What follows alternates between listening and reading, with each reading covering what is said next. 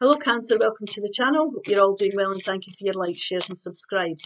This is a general reading. It won't resonate with everyone, but you can look at your moon and rising signs for greater clarity. Now I'm going to take a card to head this reading and then we'll look at the tarot and see what it's saying. Now we've got the devil energy here. Now the devil card can be toxic relationships. It can be things we're feeling chained to. You can see the chains here. Um, it could be that we're with someone that is not, we're not happy with here and we're feeling chained to this person and it's holding you back. Now, there can be a fear aspect to this as well of leaving this situation. It might be your little voice in your head saying you can't move on. So it could be temptation as well. You could be tempted to somebody that can't give you what you need here. So we'll just see what the tarot's got to say. We'll take nine cards and we'll see what the storyboard is saying today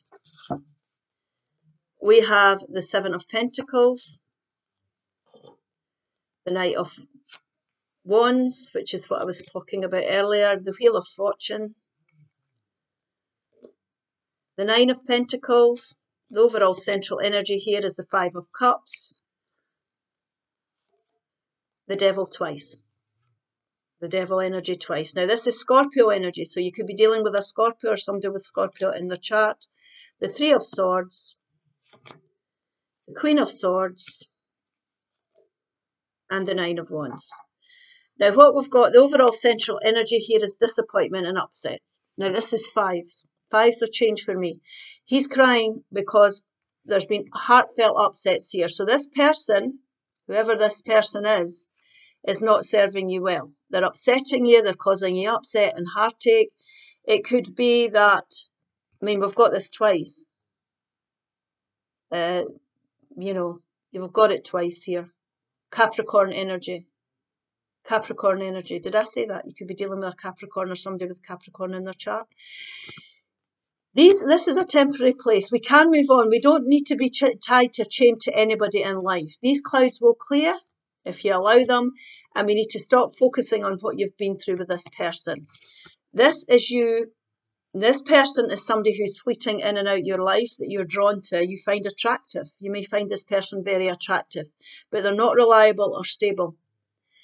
It could also be an Aries, Leo, or Sagittarius energy, but they're fleeting. They're coming in and out. They're not stable, or they're.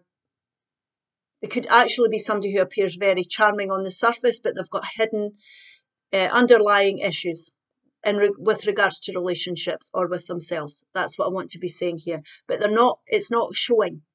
So it might be somebody that's married, it might be somebody that can't give you what you want, it might be somebody you're tempted to go back to time and time again. But what Spirit's suggesting here is that this is the time. It's time now for you to make a decision about this situation. And we have got the Seven of Pentacles here.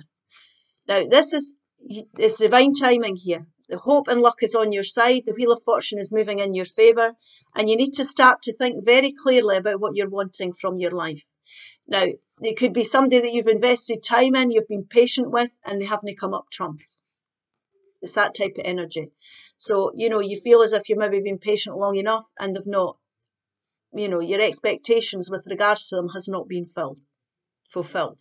So it's about deciding whether to put any more effort into this relationship.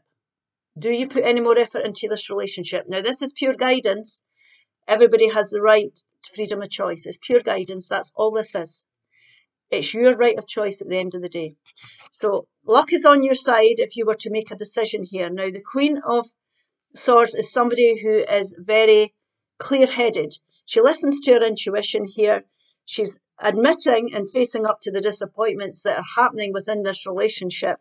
It's been a very challenging relationship. You've been through a lot with this person and you've learned a lot of lessons and you're still surviving, but it's draining you dry. You're on your knees with it now. We're at a stage here where we're having to make decisions about how we're going to go forward. Now, depending on what you've learned here will determine how your decisions are being made. So these are all karmic lessons that you've been through and you've been through them for a reason. And the reason is now you have to make some solid, intelligent decisions about the path you want to go down. Now, she cuts people in situations out of her life that no longer serve her. Now, I say she, it's not a gender specific reading, I'm talking about the energies on the cards. She is not with someone that's chained to that lets her down, that's toxic. It's not a toxic relationship. It's not an unstable relationship. She wouldn't be in any of these types of things. So once she's made her mind up, and please listen to your intuition on this, come into the present, forget the past now. This is about your future we're talking about here. Make sure that nobody talks you out of it because I've got a feeling here that this person can be very persuasive and very charming on the surface. So Queen of Swords is somebody, once they've made their mind up, they do not go back. They do not suffer fools gladly and they don't take any prisoners. And she's ready here to speak up and say that she's had enough. It's got too challenging now and I'm making strategic decisions to go forward and I'm deciding it's no longer worth the effort for me to, to invest in this situation any longer. Now, this could be affecting areas of your life. It could be to do, it could affect your work, your house, your home, your stability, your finances, obviously. You know, there could be one or more area of your life being affected by this decision you're making. But this is about your independence here. It's about being independent minded. Now, she's somebody, if you make the right decisions for you, you will start to go forward to create harmony and stability in your life. Your self confidence will come back. Your self esteem will be restored.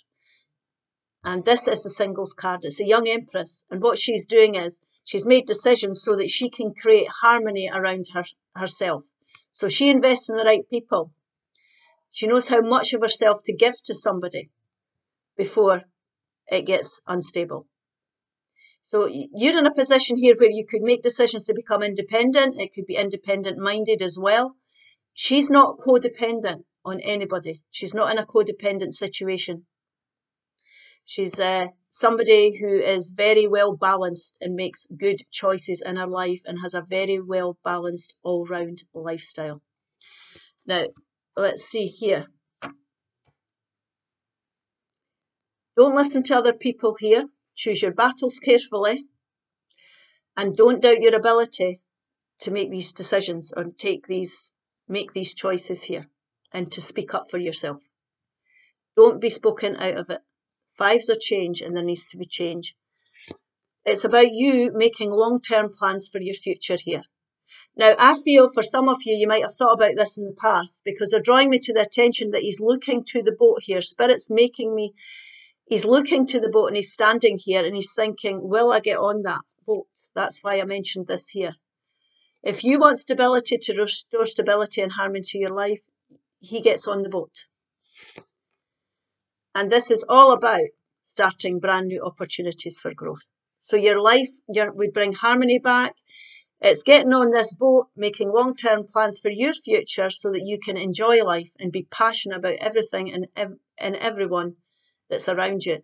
It's also feeling, and I'm going to say this, enjoying your home life, enjoying your environments. So creating beautiful things because she has beautiful environments here. And remember, it's not a gender specific reading, but this is about brand new beginnings for growth and happiness for you. It's about being enthusiastic about going forward to create beautiful things in your own life here. Okay, I hope this helps. Please like, share, and subscribe, and I'll see you again soon. Bye bye.